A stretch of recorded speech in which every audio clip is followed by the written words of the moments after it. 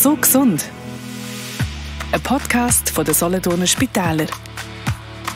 Mit dem Dominik Lüdi. Endometriose.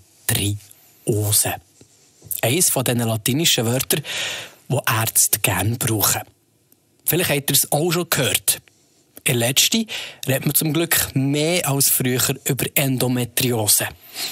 Das Wort Endometriose leitet sich vom Endometrium ab. Das ist das latinische Wort für Gebärmutterschleimhaut. Und mit der und mit der ist bei Endometriose etwas nicht in Ordnung. Ein bisschen genauer weiss das der Dr. Stefan Mohr. Er ist Chefarzt von der Frauenklinik im Bürgerspital Solothurn. Herr Mohr, was macht die Gebärmutterschleimhaut bei Endometriose genau? Ja, die ist an Stellen, wo sie eigentlich nicht hingehört. Das heißt, die Gebärmutterschleimhaut, das ist das, was normalerweise während der Menstruation abblutet. Ähm, und bei der Endometriose kommt es eben vor, dass die Gebärmutterschleimhaut vor allen Dingen in der Bauchhöhle drin an allen möglichen Orten verteilt sein kann, vor allen Dingen im Becken unten und da eben Beschwerden verursachen kann. Wie gelangt denn die Gebärmutterschleimhaut quasi außerhalb vom Organ in, in den Bauch? Weiß man da?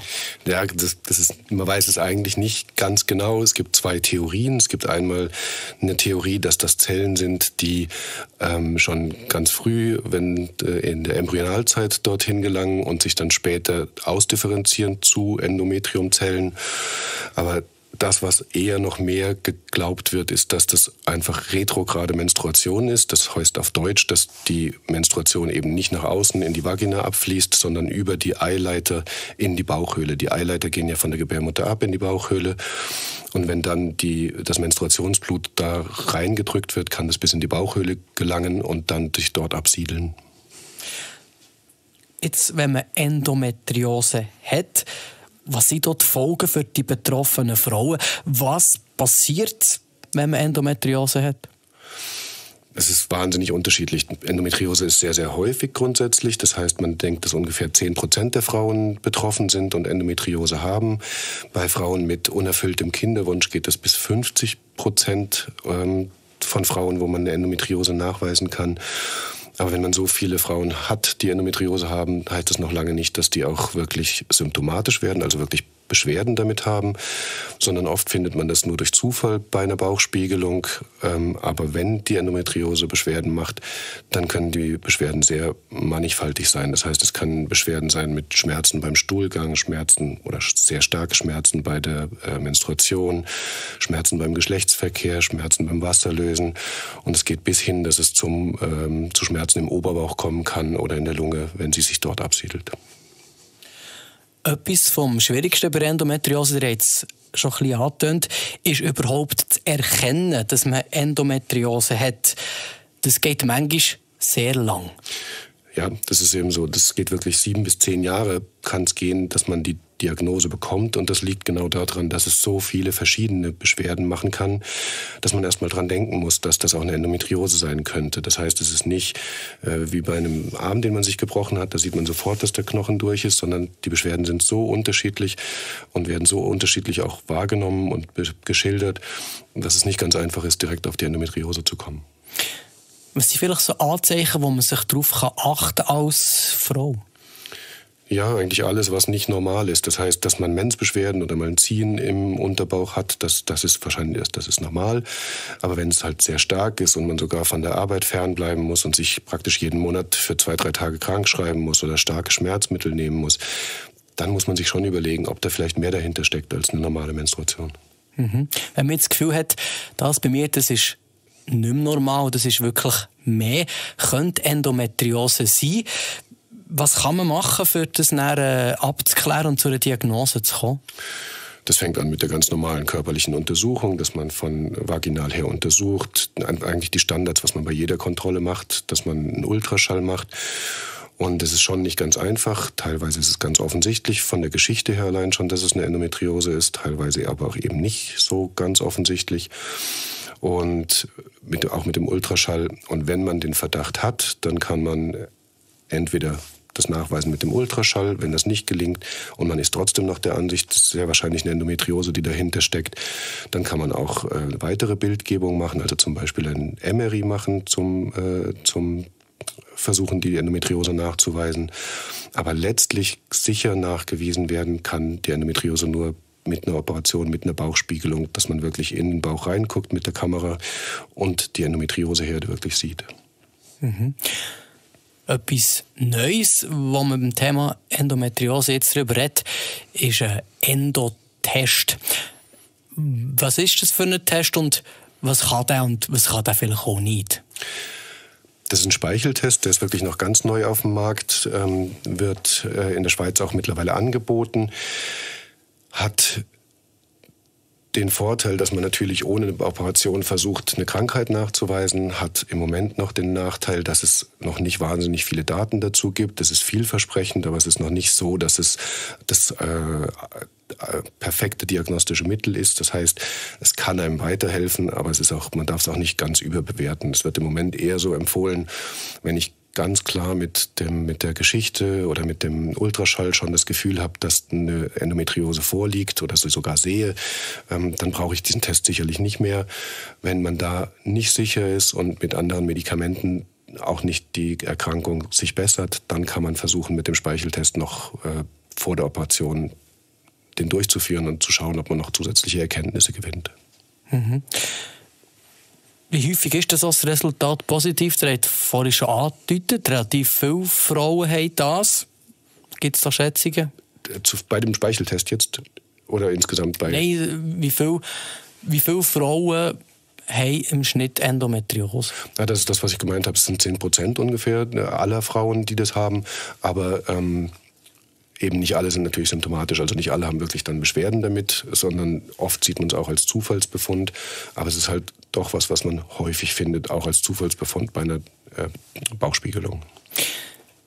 Jetzt ist es so, dass man zwar gäng wie mehr über Endometriose redet, wenn ich das Wort aber gegenüber Kollegen oder Freunden im Umfeld sagen, dann wissen die meisten nicht, was es ist.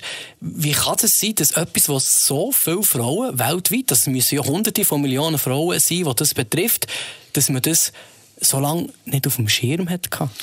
Ja, eben wie gesagt, das, die, die, die Beschwerden sind natürlich unglaublich vielfältig. Das reicht von gar keine Beschwerden bis hin zu wirklich stärksten Beschwerden. Ähm, und viele Frauen haben das und man weiß es halt gar nicht, weil man denkt, das ist noch im normalen Rahmen. Und wenn dann die Beschwerden aber doch über das ja, Normale hinausgehen, dann sind das Patienten mit einer Endometriose und damit sind es dann schon nicht mehr ganz so viele wie die 10 Prozent. Und das ist schon was, was, was der Grund ist, warum es sieben bis zehn Jahre dauert, bis man es erkennt, weil man halt wirklich, die ist bekannt, sie macht große Probleme, sie macht große auch ökonomische Probleme mit den ganzen Arbeitsabwesenheiten und so weiter. Und trotzdem ist es was, wo man erstmal dran denken muss. Es ist so ein bisschen so ein Kolibri, es ist sowas, äh, kann sich in allen möglichen Arten zeigen quasi äh, von, von Beschwerden her. Dadurch schwer nachzuweisen und dadurch spricht sich natürlich auch weniger rum. Wenn es nicht so oft entdeckt wird oder nicht so direkt entdeckt wird, wird ist es auch nicht so publik. Und ich glaube trotzdem auch, dass es sich schon sehr, sehr viel getan hat, so in den letzten zehn Jahren. Also ich glaube, es ist schon viel, viel besser als noch vor zehn Jahren. Also die werden von Patientinnen häufiger angesprochen. Schon, ja, ja, würde ich sagen, ja. Es ist wirklich mehr, mehr in den Medien und insgesamt im Bewusstsein als früher. Dementsprechend wird zumindest bei uns um Endometriose auch gang wie mehr gegoogelt. Ich habe jetzt hier ein paar Fragen mitgebracht, so ein bisschen die häufigsten, die im Internet gestellt werden, äh, würde ich euch gerne stellen. Wie fängt Endometriose an und in welchem Alter? Ist auch unterschiedlich. Das fängt, kann ab der Menstruation, ab, der, ähm, äh, ab, ab Einsetzen der Menstruation im Prinzip ähm, auftreten. Es sind überwiegend Frauen, jüngere Frauen, wo es erstmalig auftritt, irgendwo zwischen äh, 18 und 30 würde ich sagen.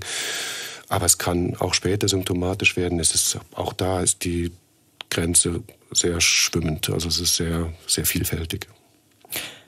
Kann man auf einmal Endometriose bekommen? Ja, irgendwann kommt sie. Irgendwann macht sie halt Beschwerden. Es ist wirklich, kann man glaube ich nicht so per se sagen, wann der Zeitpunkt ist, aber irgendwann wird sie symptomatisch und dann hat es angefangen. Ist Endometriose eine schlimme Krankheit?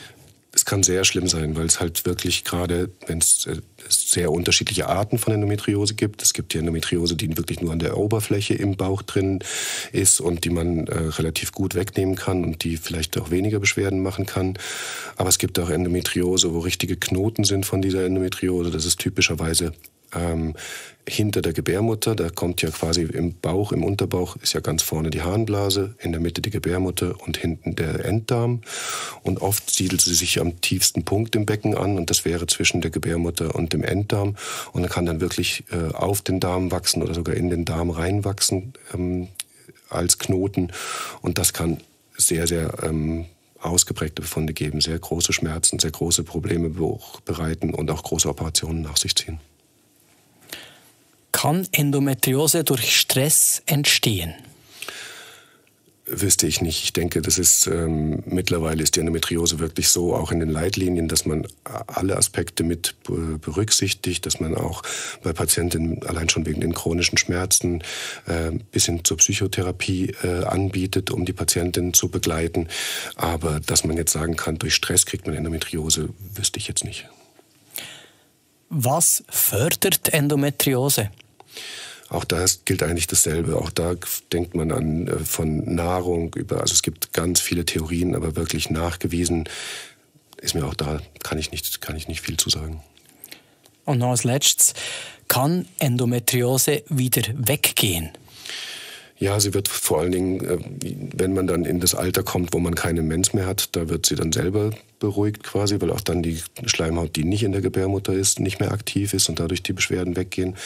Ähm, weggehen in dem Sinne, dass sie da ist und dann von alleine weggeht, ist schwierig, weil wenn man sie sieht oder, oder wenn man den Verdacht hat, kommt es ja meistens zu einer Therapie beziehungsweise zu einer Operation und dann kann man ja nicht zugucken, ob sie von selbst weggeht. Das heißt, es ist schwierig, glaube ich, das so nachzuweisen.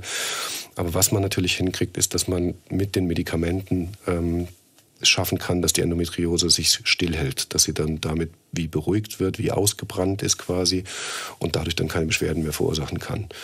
Dass man sie hat und so, dass sie von selbst weggeht, kann ich mir jetzt kann ich mir nicht so erklären. Mhm.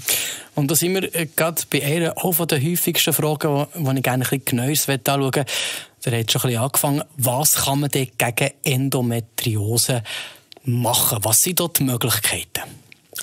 Das erste ist wirklich, äh, dass man eine hormonelle, Therapie anbieten kann. Das heißt, so eine Art äh, Pille eigentlich geben kann.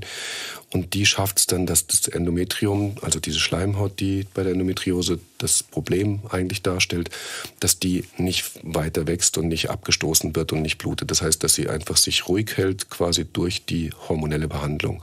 Und dadurch, dass sie dann nicht diesen Entzündungsstatus, äh, diese Entzündungsreaktion, sage ich mal, ähm, voraus ähm, verursacht. Verursacht, danke, vielen Dank. Diese Entzündungsreaktion verursacht, dadurch gehen dann auch die Beschwerden und die Schmerzen weg. Okay. Was ist vielleicht der Nachteil von dieser Therapie? Schlägt die Hormone bei allen Frauen gut an? Das ist unterschiedlich. Insgesamt muss man sagen, äh, sollte man nicht zu hellhörig sein. Es ist erstmal grundsätzlich was, was oft sehr gut vertragen wird und ähm, es kann aber auch mal ähm, auf die Stimmung, also Stimmungsschwankungen hervorrufen. Es kann Kopfschmerzen hervorrufen. Es gibt schon Frauen, die mit Nebenwirkungen reagieren, aber es hilft einem natürlich auch die Tatsache, wenn man das probiert und dann merkt, dass es damit besser wird, dann bestätigt es auch so ein bisschen die äh, Diagnose von der Endometriose. Dann ist man auch schon wieder einen Schritt weiter. Und wenn die Patientin das dann wirklich nicht verträgt, dann ist man halt allenfalls noch einen Schritt näher an der Operation. Also Hormone ein grosses Thema. Etwas, wo man vielleicht als erstes daran denkt oder vielleicht schon selber genommen hat, bevor man überhaupt beim Frauenarzt ist, sind Schmerzmittel. Unbedingt. Das ist was, das ist so das Erste, was eben auch viele Frauen natürlich von selbst auch machen. Da helfen vor allen Dingen die NSAR, das heißt, das sind alle die, die ähm, Medikamente wie Ibuprofen oder Mephenaminsäure oder ähm, Voltaren, Optifen, diese ganzen Medikamente, die man nehmen kann. Also einfach Entzündungshemmer. Entzündungshemmer, mhm. ganz genau. Und die soll man auch nehmen, die helfen Absolut. auch? Absolut, die helfen wirklich gut, ähm, reichen oft nicht aus, aber sind natürlich das allererste, was man ausprobieren kann. Mhm. Jetzt nimmt man vielleicht Schmerzmittel, das hilft, äh, hat noch Hormon dazu, schlägt vielleicht nicht so an. Was ist so die Ultima Ratio? Häufig Äh, in vielen verschiedenen Richtungen ist nachher die, die Operation, der Eingriff. Wann muss man so etwas überhaupt denken jetzt bei Endometriose? Wenn man nicht weiterkommt. Ich glaube, wenn man eben, so wie Sie es gesagt haben, wenn man mit, den, äh, Hormon, mit der Hormontherapie nicht das erreicht, was man erreichen will, dann muss man über die Bücher, dann muss man überlegen, ob es was anderes ist, wenn es nicht auf Hormone anspricht, ob es doch nicht eine Endometriose ist, sondern eine andere Ursache dahinter steckt. Und wenn es anspricht, aber nicht ausreichend oder wenn die Medikamente nicht vertragen werden oder was auch immer, dann muss man wirklich anbieten, eine ähm, Operation durchzuführen, auch diagnostisch. Das heißt also auch zum ersten Mal überhaupt schauen, ob es was hat, dass man eine Bauchspiegelung macht und dann ist man wirklich, dann hat man praktisch ein hochauflösendes Bild vom Bauch und wenn es Endometriose hat, dann sieht man die da auch. Mhm. Zuerst mal, in, in wie vielen Fällen, wo, wo man sagt, mal, das ist Endometriose, in wie vielen Fällen davon äh, kommt es zu einer Operation? Dann denke ich wirklich, dass ein sehr großer Teil irgendwann bei der Operation landet dann ist es schon je nachdem auch in welchem Alter, wenn das natürlich eine Patientin ist, die wirklich richtig Probleme hat, erst äh, mit Mitte 40, dann kann man auch versuchen, wirklich die Zeit zu überbrücken mit den Medikamenten bis zur Menopause, dass man dann, dass sie dann beschwerdefrei wird. Aber gerade wenn das junge Patientinnen sind, ich denke, dann ist es sehr häufig, dass man bei der Operation landet. Mhm. Um, bei wie vielen geht es gut mit der Hormontherapie? Bei den meisten? Bei den wenigen, also es geht, es, also dass es anspricht, glaube ich, das ist sehr, sehr häufig. Dass das aber so eine, also fürs ganze Leben quasi die Therapie ist, das ist oft nicht der Fall. Dass man halt eine Zeit überbrückt oder auch, auch länger mit den Hormonen, das ist durchaus möglich. Aber dass man irgendwann bei der Operation landet, die Wahrscheinlichkeit ist schon da. Ich finde es schwierig zahlen, zu sagen, mhm. das wäre jetzt wirklich fast geraten aus der Sprechstunde. Aber wenn es dann häufig vorkommt, natürlich umso interessanter. Was sind denn das für Operationen, die man da macht? Das ist, wie, wie ich eben schon gesagt habe, ganz unterschiedlich, wie ausgeprägt es ist. Das kann sein, dass das nur oberflächliche Endometriose ist, dass man das wirklich wie mit einer Nadel ausschneiden kann aus dem Bauchfell und wegnehmen kann und das war's schon. Das kann sein, das geht eine halbe Stunde und es kann auch durchaus viel länger gehen, wenn wirklich der Darm beteiligt sind, ist. Dann kann es so weit gehen, dass man sogar ein Stück vom Darm wegnehmen muss, damit man die ganze Endometriose komplett entfernen kann. Ähm, das wäre das, die andere Richtung vom Spektrum. Dann gibt es oft noch Endometriome, das heißt, das sind Endometriosezysten im Eierstock drin, die man ausschälen kann. Das ist auch, auch was sehr Häufiges. Also auch da wieder, das ist so das Typische bei der Endometriose. Es hat alles ein riesengroßes Spektrum. Es kann eine halbe Stunde Operation oder eine sehr einfache Operation, sage ich mal, sein, bis hin zu sehr komplexen Situationen. Mhm. Wie ist der wenn man die Operation gemacht hat, ist es ähnlich wie beim Krebs. Äh, kann es wieder kommen? Oder ist es so, wenn man alles verwünscht hat und es ist, dann ist es ja, im besten Fall schon, aber es, ist eine, es hat eine hohe Rezidivrate. Das heißt, das wird bis zu einem Drittel angegeben, dass die Patientinnen äh, irgendwann wieder ein Rezidiv haben von Endometriose, auch wenn es gut operiert ist. Und wenn man jetzt lange Endometriose hat und damit kämpft und alles probiert, dann probiert man vielleicht auch mal Sachen aus, die einem Dr. Internet empfiehlt. Ich habe jetzt äh, drei Sachen mitgebracht, die mir spontan äh, beim Googlen sind vorgeschlagen wurden, die ich doch ausprobieren gegen Endometriose. Das erste ist äh, so ein elektronisches, aufladbares Wärmepflaster, so ein Pad mit tiefer Wärmewirkung. Ich habe keine Erfahrung damit, muss ich wirklich sagen. Ich habe es nicht in der Sprechstunde empfohlen bis jetzt und äh, es sind mit allen alle diese Maßnahmen sind halt immer ein bisschen mit Vorsicht zu genießen, weil es, ich denke, man kann es gut probieren. Es ist nicht, nicht, spricht überhaupt nichts dagegen. Aber es ist nicht nachgewiesen. Das heißt, wenn das, was wir in der Medizin machen, ist mittlerweile ja so, dass wir eigentlich uns immer auf Studien verlassen. Und wenn es nachgewiesen ist, der Nutzen, dann machen wir es. Und wenn nicht, dann tendenziell eher nicht.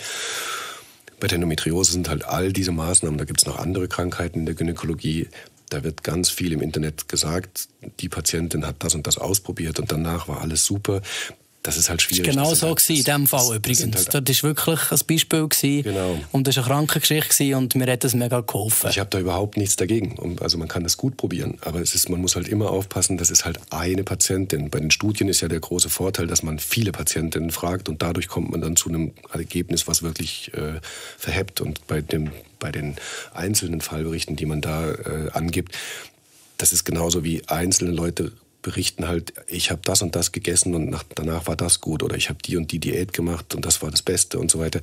Und genauso ist es bei Endometriose und anderen Krankheiten auch. Es spricht nichts dagegen, es zu probieren, aber es ist zumindest halt nicht, dass man sagen kann, hey, das muss man so machen das ist das, das ist das Allheilmittel. Ich glaube nicht, dass es bei der Endometriose ein Allheilmittel gibt. Mhm.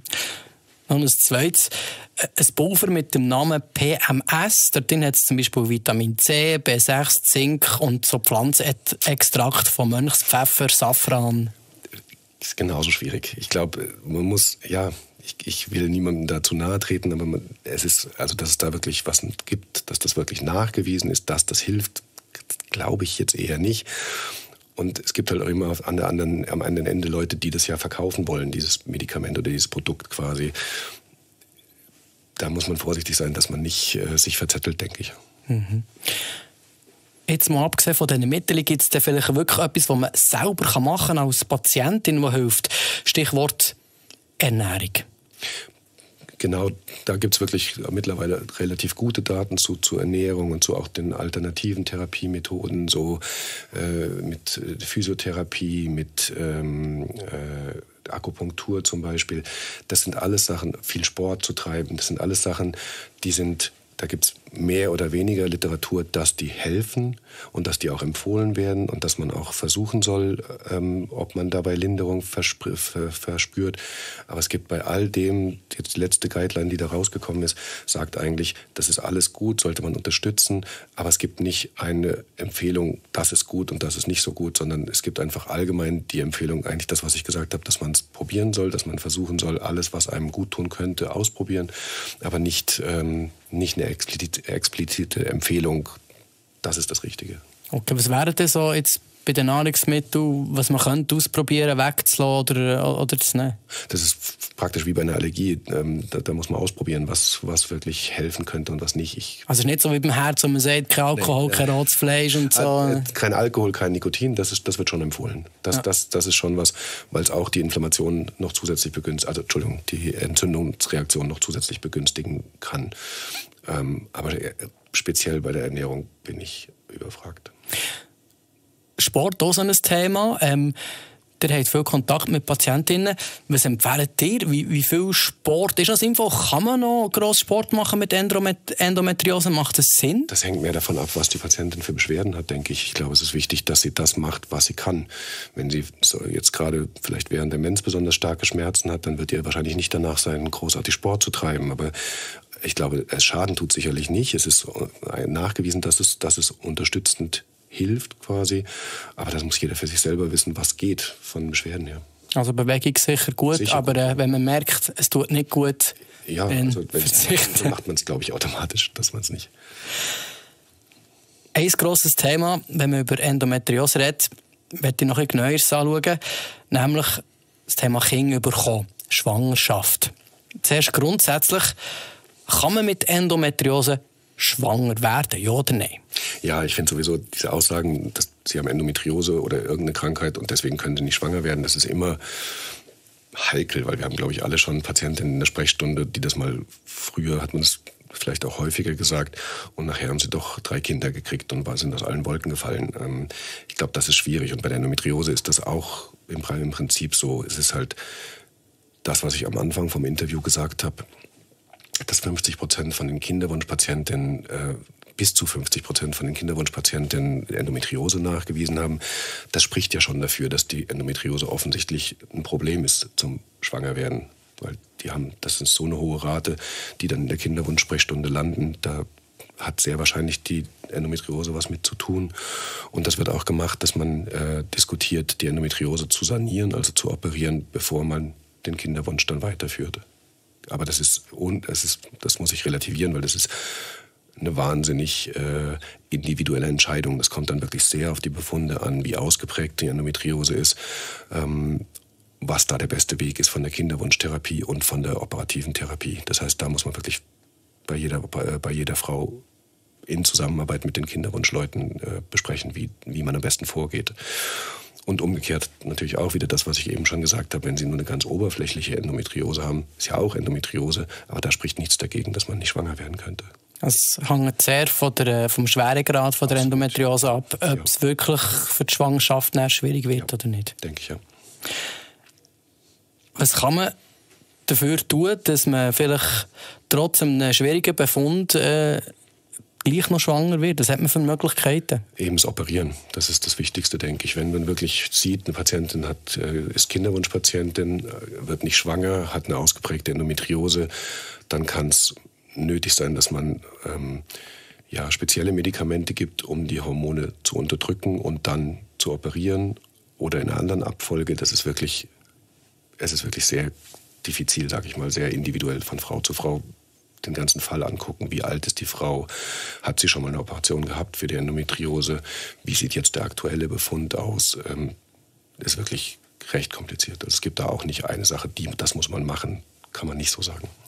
Was ist da die Operation, die man macht, alles rausnehmen oder vor allem da im Bereich Eierstöcke, die, die, ganze, die ganze Endometriose rausnehmen, genau. Das wird, das wird auch immer wieder diskutiert. Im Moment denkt, also ich denke, dass wichtig ist, wenn man gerade die frühen Stadien von der Endometriose, die scheinen wirklich möglicherweise über diese Entzündungsreaktion auch sich auf den Kinderwunsch auszuwirken. Das heißt, da wird empfohlen, dass man das äh, operiert und ähm, und auch bei Endometriomen, also diese ähm, Endometriosezysten in den Eierstöcken. Tendenziell, dass man es eher operiert, aber auch da ist es individuell zu entscheiden. Mhm. Wenn man jetzt Glück hat, man wird schwanger, trotz Endometriose, vielleicht nach der Operation, was läuft denn nachher bei der Schwangerschaft anders als, ich sage jetzt, in Anführungszeichen, eine normale Schwangerschaft? Eigentlich, das, ich denke, das ist dann, wenn es wenn es zur, Konze also zur Konzeption, zur Schwangerschaft gekommen ist, ähm, dann ist der, die Endometriose nicht mehr ganz so relevant, weil dann der Hormonhaushalt natürlich wieder komplett umgestellt ist auf die Schwangerschaft. Und da ist es, ist es eher selten, dass das wirklich die Endometriose Probleme macht. Das kann es mal geben, dass dann die Herde symptomatisch werden, aber es ist eher, denke ich, was Seltenes. Sieht man im Alltag zumindest weniger. Und auch bei der Geburt gibt es nicht nee. besonders etwas, was man nachher nee, teilen müsste? Nein, würde ich nicht Und dann Geburtenrate ist nee, gleich. Da gibt es keinen Unterschied. Nee das ist ein sehr emotionales Thema, Kinderwunsch und Schwangerschaft. Wie erlebt ihr so von den Patientinnen, wenn es darum geht, ich habe Endometriose, ich will Kinder haben, wie, ja, wie erlebt ihr das in der Sprechstunde? Eben, das ist wirklich was, wo man, wo man gut mit den Kinderwunschleuten zusammenarbeiten muss. Also es ist dann wirklich interdisziplinär, dass man äh, mit mehreren Spezialisten wirklich zusammenguckt, die Patientinnen zu behandeln. Insgesamt gar nicht so abhängig vom Kinderwunsch ist es halt insgesamt eine schwierige Situation, mit diesen Patientinnen äh, zu, zu arbeiten, weil es sind halt fast immer Patientinnen, die schon einen wahnsinnig langen Leidensweg hinter sich haben. Das heißt, das sind oft Schicksale, die äh, recht beeindruckend sind, wenn man irgendwie zehn Jahre oder noch länger mit stärksten Schmerzen äh, als junge Frau leben muss. Das beeinträchtigt das, so, äh, das Sozialleben, das Arbeitsleben, das Sexualleben, eigentlich alles. Von da sieht man so ein bisschen, wenn man wirklich in der Sprechstunde die Patientin hat, wie, ähm, wie weitgreifend die Endometriose ist und, und die Lebensqualität verschlechtert. Mhm. Das sind ja hier zum Helfen und als Arzt kann man ja in der Regel auch helfen. Äh, ja, habt ihr auch Patientinnen, die im, im, Nachhinein zu euch kommen und sagen, jetzt geht es mir wieder besser, jetzt habe ich wieder ein Leben? Natürlich, ja klar. Das ist sonst das wäre ja schlimm, wenn man, wenn man solche Operationen machen würde und das nicht hätte. Also insgesamt ist es schon ähm, häufig so, wenn man es hinbringt, dass man die Endometriose komplett entfernen kann, dass es auch eine deutliche Besserung hat. Und es gibt zum Beispiel auch Endometriose in der Gebärmutter drin, eine Art Endometriose. Und ähm, wenn man dann zum Beispiel auch eine Gebärmutterentfernung machen kann, nachdem der Kinderwunsch abgeschlossen ist, dann ist das sehr häufig, dass das wirklich eine Linderung bringt. Und auch wenn man die anderen Endometriose-Operationen macht und die Herde wirklich gut entfernen kann, dann kann das wirklich ein, ja, ein Segen für die Patientin sein, denke ich. Ja. Herr Mohr, welche Botschaft werdet ihr zum Schluss noch unseren Zuhörerinnen und Zuhörern mitgeben, wenn es um das Thema Endometriose geht? Ja, ich glaube, das ist bei uns heute beim Gespräch rausgekommen. Dran denken einfach. Also das ist so. Es äh, heißt nicht, dass alle Beschwerden jetzt auf einmal auf Endometriose zurückgeführt werden können, aber umgekehrt muss man trotzdem auch zumindest dran denken, wenn es in Frage kommt. Hey, könnte es vielleicht das sein? Vielen Dank, Herr Mohr, seid ihr heute mein Gast gewesen. Ich hoffe, wir haben dazu beigetragen, dass künftig mehr Leute Endometriose auf dem Schirm haben und es nicht mehr sieben bis zehn Jahre geht, bis Frauen ihre Diagnose haben und man ihnen helfen kann. Im nächsten Podcast geht es übrigens um die Schilddrüse. Ein Organ, das wichtiger ist, als man denkt und einen Haufen Sachen in unserem Körper steuert. Man könnte auch sagen, die Schilddrüse ist unser Gaspedal. Und wenn die nicht richtig funktioniert, dann wird es ungemütlich. Falls ihr betroffen seid, Fragen habt oder eure Erfahrungen mit uns möchtet teilen, dann freuen wir uns auf eure E-Mail auf podcast.spital.so.ch. Ich freue mich, wenn ihr auch beim nächsten Mal so gesungen wieder mit dabei seid und wünsche euch gute Gesundheit. Und sonst eine gute Behandlung. So gesund ein Podcast von der Solothurner Spitäler. Mehr Informationen finden Sie jederzeit auf solothurnerspitäler.ch.